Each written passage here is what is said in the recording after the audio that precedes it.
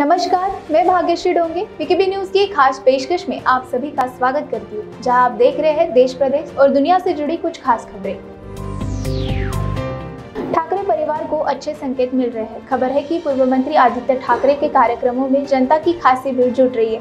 वही उद्धव ठाकरे महाविकास आघाड़ी में भी कमज़ोर पड़ते दिख रहे कांग्रेस नेता मिलिंद देवड़ा का कहना है कि महाराष्ट्र में भाजपा को किनारे लगाने के लिए गठबंधन किया जाया था। लेकिन इससे कांग्रेस को कोई फ़ायदा नहीं हुआ। तो महाराष्ट्र में सियासी हलचल के बीच नए कृषि मंत्री अब्दुल सत्तार और राज्य के पूर्व मुख्यमंत्री अशोक चौहान के बीच हुई बैठक ने चर्चाएँ बढ़ा दी है। इस बीच उद्धव ठाकरे ने भी राज्यव्यापी महाप्रबोधन यात्रा का ऐलान किया है, जिसमें वे जनता के बीच जाकर शिंदे सरकार पर निशाना साधेंगे। तो उधर शिवसेना सांसद संजय राउत को आज विशेष पीएमएलए अदालत से राहत मिली। कोर्ट ने उनकी न्यायिक हिरासत 5 सितंबर तक बढ़ा दी है।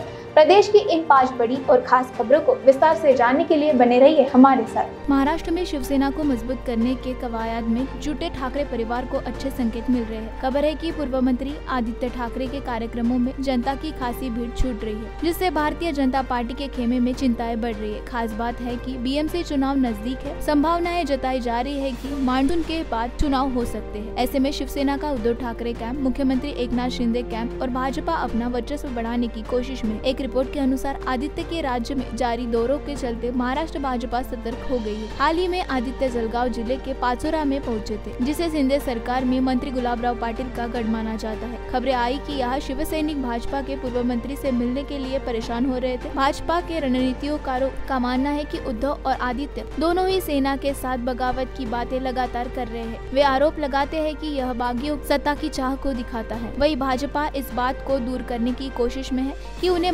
महाविकास आघाड़ी सरकार को गिराने के लिए सेना में गुट का साथ दिया है। भाजपा के पदाधिकारी का कहना है कि ठाकरे पुत्र पिता के बयानों का सामना करने के लिए एक अच्छी चुनावी रणनीति की ज़रूरत है। मतदाता कई बार सहानुभूति से बह जाते हैं।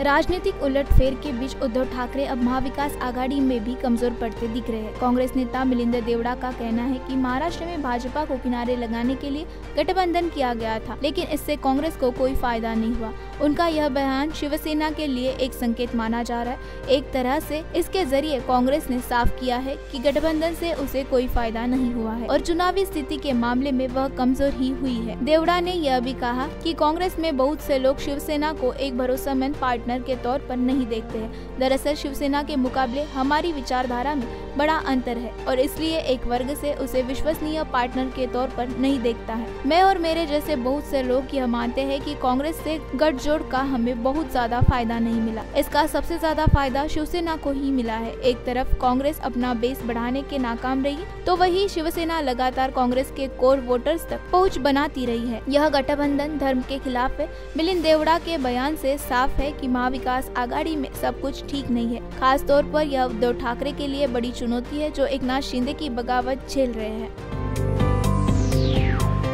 महाराष्ट्र में सियासी हलचल के बीच नए कृषि मंत्री अब्दुल सत्तार और राज्य के पूर्व मुख्यमंत्री अशोक चौहान के बीच हुई बैठक ने चर्चाएँ बढ़ा दी हालाँकि दोनों नेता से शिष्टाचार बैठक बता रहे हैं। खबर है कि कांग्रेस और शिवसेना नेता के बीच करीब आधे घंटे तक मुलाकात होती रही। खास बात है की विश्वास मत के दौरान भी चौहान की गौर मौजूदगी भी चर्चा में रही है। रिपोर्ट के मुताबिक आधिकारिक दौर पर नांदेड़ आए मंत्री सत्तार ने चौहान से मुलाकात की। मंत्री ने कहा कि वरिष्ठ कांग्रेस नेता और उनके दिवंगत पिता केंद्रीय मंत्री शंकर राव चौहान ने उन्हें राजनीति में मार्गदर्शन दिया है और सियासत के चलते उनके संबंध नहीं बदले हैं। खास बात है कि सतार भी शिवसेना में शामिल होने से पहले कांग्रेस का हिस्सा रह चुके हैं। उन्होंने कहा कि चौहान के पास मराठवाड़ा और महाराष्ट्र की समझ है। वह किसानों के मुद्दे के भी समझते हैं। उनका आशीर्वाद लेने के अलावा मैं कृषि मंत्री के तौर पर उनका मार्गदर्शन भी मांगूँगा। अपने विभाग की समीक्षा बैठक में शामिल होने के तुरंत बाद ही चौहान के आवास पर पहुँच गए थे। करीब आधे घंटे तक कमरे में मुलाकात की, जहाँ किसी को भी जाने की अनुमति नहीं दी। बता दें कि विधानसभा में शिंदे के विश्वास मत के दौरान भी कांग्रेस नेता सदन से गायब रहे थे। इस संबंध में पार्टी नेतृत्व की तरफ़ से उन्हें शो कॉज नोटिस भी जारी हुआ था। हालाँकि उन्होंने वजह देर से आना बताया था। उद्धव ठाकरे अपनी बिखरती पार्टी को बचाने की जद्दोजहद में जुटे हुए हैं। उद्धव ठाकरे के बेटे और महाराष्ट्र के पूर्व कैबिनेट मंत्री आदित्य ठाकरे शिव संवाद यात्रा के ज़रिए राज्यव्यापी दौरा कर रहे हैं तो उद्धव ठाकरे ने भी राज्यव्यापी महाप्रबोधन यात्रा का ऐलान किया है, जिसमें वे जनता के बीच जाकर शिंदे सरकार पर निशाना साधेंगे। इसे शिंदे सरकार को करारा जवाब के रूप में भी देखा जा रहा है। आदित्य ठाकरे के राज्यव्यापी दौरे पर शिव संवाद यात्रा का नाम दिया गया था, जबकि उद्धव ठाकरे के दौरों को महाप्रबोधन यात्रा का नाम दिया गया था। यह यात्रा गणेशोत्सव के बाद शुरू की जाएगी। पहली जनसभा उद्धव ठाकरे, मुख्यमंत्री एकनाथ शिंदे के गढ़ ठाणे शहर के टेम्बी नाका में करेंगे। बता दें कि शिवसेना को पहली सत्ता का स्वाद चखने का मौका भी ठाणे शहर से ही मिला था। उस वक्त शिवसेना की कमान दिवंगत आनंद दिघे के हाथ में थी। यात्रा का समापन कोल्हापुर के बिंदु चौक पर उनकी जनसभा के साथ होगा। प्रबोधन का मतलब जगाना होता है। वही इस यात्रा के नाम से उनके दादा के नाम का भी कनेक्शन है। इस यात्रा के ज़रिए उद्धव भी जन समर्थन जुटाना चाह रहे हैं, ताकि आने वाले चुनाव में उन्हें जीत हासिल हो सके। उन पर यह आरोप लगता रहा है कि वो जनता के बीच में जाने वाले नेता नहीं है। वही उनके दादाजी प्रबोधनकार ठाकरे को समाज सुधारक के रूप में जाना जाता है। शिवसेना सांसद संजय राउत को सोमवार को विशेष पीएमएलए अदालत से राहत मिली। कोर्ट ने उनकी न्यायिक हिरासत 5 सितंबर तक बढ़ा दी है। मालूम हो कि पात्रा चौल भूमि घोटाला मामले में राउत को 1 अगस्त को हिरासत में ले लिया गया था। प्रवर्तन निर्देशालय ने राउत के घर पर 9 घंटे तक छापेमारी की और फिर उन्हें गिरफ़्तार कर लिया गया। अधिकारियों ने कहा कि छापेमारी के दौरान उन्हें ग्यारह दशमलव पाँच लाख रुपए की नकदी जब्त की गई। संजय राउत को फ़िलहाल ऑथर रोड जेल में रखा गया है। यही पर एनसीपी के नेता नवाब मलिक और अनिल देशमुख भी बंद है। अदालत ने राउत को अनुमति दी है कि वे घर का खाना खा सकते और दवाइयाँ भी ले सकते। दरअसल उन्होंने अदालत ऐसी कहा था की वह दिल के मरीज़ है और उनके लिए बेड की व्यवस्था होनी चाहिए। इस पर कोर्ट ने कहा था की सीएमओ की ओर ऐसी जाँच के बाद ही यह आदेश दिया जा सकता। शिवसेना सांसद की बेल का ईडी ने विरोध किया है। अधिकारियों का कहना है कि अगर उन्हें बाहर निकलने का मौका मिले तो वह सबूतों के साथ छेड़छाड़ कर सकते हैं। वह सबूतों को मिटा सकते हैं और फिर उनकी रिकवरी कर पाना आसान नहीं होगा। हालाँकि उद्धव ठाकरे, गुट की शिवसेना और संजय राउत इस कार्रवाई को राजनीति से प्रेरित बनाते रहे हैं। कांग्रेस अध्यक्ष के चुनाव में पार्टी के सामने चुनौतियाँ आती जाती रही है। अभी तक उम्मीदवारों के नामों को लेकर स्थिति साफ़ नहीं हो पाई है। तो दिल्ली के जंतर मंतर पर संयुक्त किसान मोर्चा ने महापंचायत का ऐलान किया है।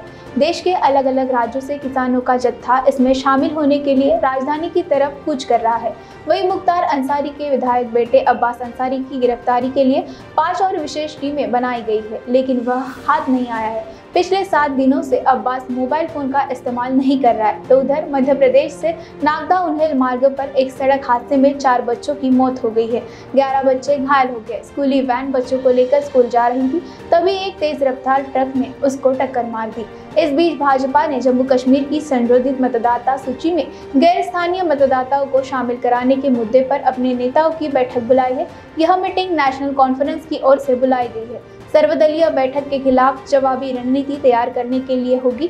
देश भर की इन पाँच बड़ी और खास खबरों को विस्तार से जानने के लिए बने रहिए हमारे साथ। कांग्रेस अध्यक्ष के चुनाव में पार्टी के सामने चुनौतियाँ आती जाती रही है। अभी तक उम्मीदवारों के नामों को लेकर स्थिति साफ़ नहीं हो पाई है। खबरें है की पहले भी कमान संभाल चुके राहुल गांधी इस पर चिप नहीं बनना चाह रहे हैं। साथ ही कहा जा रहा है की वह गांधी परिवार ऐसी बाहर के नेता को प्रमुख का पद पर चाहते हैं। जानकारी के अनुसार कांग्रेस ने बीस अगस्त तक आंतरिक चुनाव प्रक्रिया पूरी कर ली है। सेंट्रल इलेक्शन अथॉरिटी के अध्यक्ष, कांग्रेस वर्किंग कमेटी की मीटिंग का इंतज़ार कर रहे हैं, जो चेयरमैन के चुनाव के लिए तारीखों की घोषणा करेगी। सूत्रों ने कहा कि राहुल अध्यक्ष पद के लिए चुनाव लड़ने के इच्छुक नहीं है और इसके चलते प्रक्रिया अड़ी दिख रही है। खबर है की पार्टी में उन्हें मनाने की कोशिश जारी है। सूत्रों ने दावा किया है कि वह चाहते है की अध्यक्ष गैर गांधी को दिया जाए और इसलिए वह बहन प्रियंका गांधी वाड्रा को भी नामांकन करने से रोक रहे हैं। वही सोनिया स्वास्थ्य संबंधी कारणों के चलते पद पर नहीं रहना चाहती है। कांग्रेस राहुल को मनाने की कोशिश कर रही है और प्रियंका को दूसरे विकल्प के तौर पर देख रही है। अगर ऐसा नहीं होता है तो सोनिया को पार्टी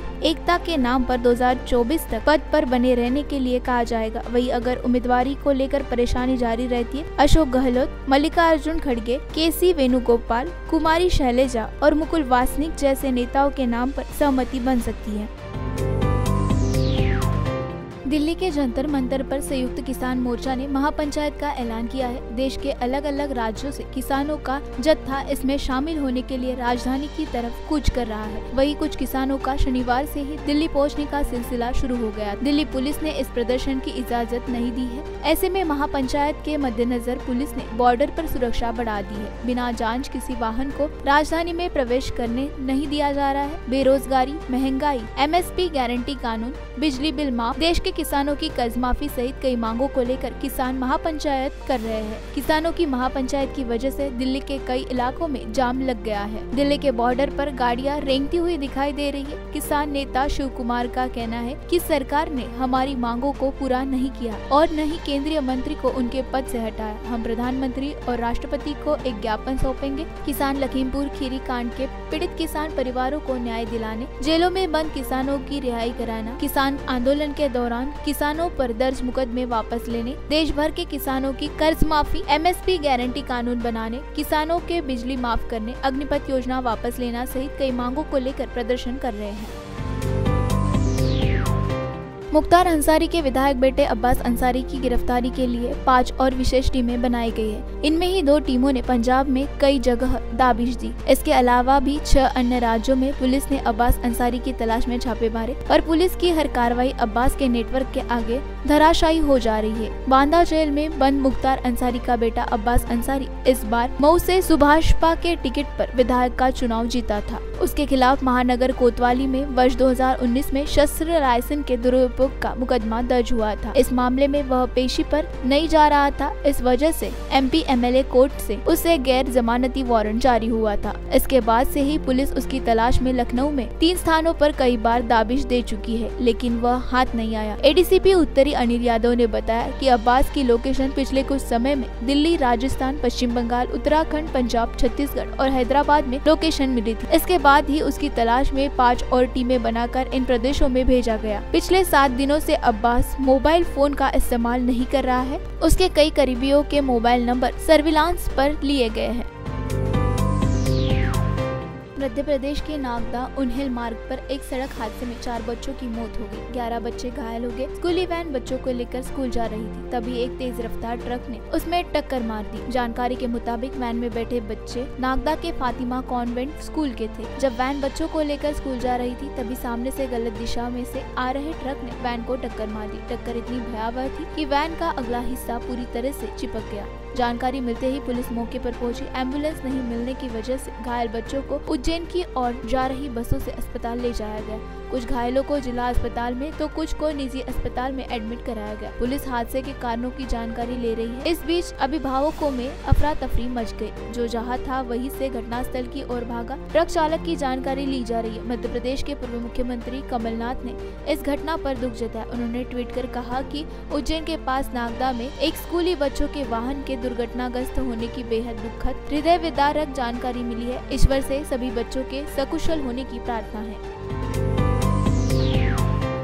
भाजपा ने जम्मू कश्मीर की संशोधित मतदाता सूची में गैर स्थानीय मतदाताओं को शामिल करने के मुद्दे पर अपने नेताओं की बैठक बुलाई है। यह मीटिंग नेशनल कॉन्फ्रेंस की ओर से बुलाई गई है। सर्वदलीय बैठक के खिलाफ जवाबी रणनीति तैयार करने के लिए होगी। पार्टी के एक प्रवक्ता ने बताया कि भाजपा की जम्मू कश्मीर की इकाई के अध्यक्ष रविंद्र रायना ने पार्टी मुख्यालय में वरिष्ठ नेताओं की एक बैठक बुलाई है। दरअसल केंद्र शासित प्रदेश के मुख्य निर्वाचन अधिकारी हृदय कुमार ने संशोधित मतदाता सूची में जम्मू कश्मीर में रहने वाले गैर स्थानीय मतदाताओं को शामिल करने की बात कही है। प्रशासन ने शनिवार को कहा था कि मतदाता सूची के संक्षिप्त संशोधन के बाद 25 लाख से अधिक मतदाताओं के शामिल होने की खबरों में निहित स्वार्थों के चलते तथ्यों को तोड़ मरोड़ कर पेश किया गया है। भाजपा ने मुख्य निर्वाचन अधिकारी का बचाव करते हुए कहा कि उनकी टिप्पणी कानूनी और संवैधानिक रूप से सही है। बीजेपी के मुख्य प्रवक्ता सुनील सेठी ने कहा कि कानून के तहत कोई भी व्यक्ति जो भारत का नागरिक है और किसी भी कानून से प्रतिबंधित नहीं है वह किसी भी क्षेत्र, राज्य या केंद्र शासित प्रदेश में मतदाता बनने का विकल्प चुन सकता है, जहाँ वह समानता रहता है। जम्मू कश्मीर में भी इसे ही लागू किया गया है। धारा 370 के अधिकतर प्रावधान खत्म किए जाने के बाद एक भारत, एक कानून होना चाहिए। पाकिस्तान में बड़ा बवाल हो सकता है। खबर है कि पूर्व प्रधानमंत्री इमरान खान गिरफ्तारी से बचने के लिए फरार हो गए हैं। तो इसी पाकिस्तान में अल्पसंख्यकों पर अत्याचार के मामले थम नहीं रहे। एक बार फिर से सिख समाज की लड़की का जबरन धर्म परिवर्तन कराने के बाद उसका निकाह कर देने का मामला सामने आया है। वही वर्ष 2023 में होने वाली मिस यूनिवर्स प्रतियोगिता में शादीशुदा महिलाओं को भी एंट्री मिल सकती है। इस बड़े बदलाव के लिए मिस यूनिवर्स संगठन तैयारी कर रहा है। तो उधर ब्रिटेन की क्वीन एलिजाबेथ के शेफ डेरेन ने खुलासा किया है कि महारानी को जैम पेनिस बहुत पसंद है। रानी पाँच साल की उम्र से सैंडविच पसंद करती थी। इस बीच चीन में तेज़ी से बढ़ रहे तापमान की वजह से कई नदियाँ भी सूख रही है। यातांगी नदी के गिरते जलस्तर से चिंतित लोग उस वक्त अवाक रह गए हैं, जब 600 साल पुरानी तीनों बुद्ध मूर्तियाँ मिली। तीनों मूर्तियाँ एक चट्टान में बड़ी खूबसूरती से तराशी गई। दुनिया भर की इन पाँच बड़ी और खास खबरों को विस्तार से जानने के लिए बने रहिए हमारे साथ। पाकिस्तान में फिर बड़ा बवाल शुरू होने के असर गहरा गए हैं। खबर है कि पूर्व प्रधानमंत्री इमरान खान गिरफ्तारी से बचने के लिए फरार हो गए हैं। उनके वकीलों की टीम अग्रिम जनामत की कोशिश कर रही है। पाकिस्तान में इमरान के खिलाफ लगातार कार्रवाई जारी है। उन पर एंटी टेरेसियम एक्ट यानी एटीए के तहत मामला दर्ज हुआ है। उनकी गिरफ्तारी की संभावनाओं के बीच पाकिस्तान में क्रांति के पहले खामोशी बनी हुई है। एक तरफ़ तहरीक इंसान के अध्यक्ष इमरान खान अपने घर पर नहीं है तो उधर उनकी पार्टी के सदस्यों ने कार्यकर्ताओं से सड़क पर प्रदर्शन के लिए तैयार रहने के लिए कहा है। उनके खिलाफ इस्लामाबाद सदर मजिस्ट्रेट अली जावेद के शिकायत दर्ज कराई थी। आरोप है की उन्होंने जनसभा के दौरान अतिरिक्त सत्र न्यायाधीश को धमकी दी थी। दावा किया जा रहा है की उन्होंने अपने करीबी शहबाज गिल की गिरफ्तारी के चलते इस्लामाबाद पुलिस प्रमुख और महिला जज को धमकियाँ दी थी। एफआईआर में कहा गया है कि खान के भाषण के चलते पुलिस न्यायाधीशों और देश में डर और अनिश्चितता का माहौल है। इसके अलावा पाकिस्तान के इलेक्ट्रॉनिक मीडिया, रेगुलेटरी अथॉरिटी ने भी खान के भाषण से सीधे प्रसारण पर भी रोक लगा दी है।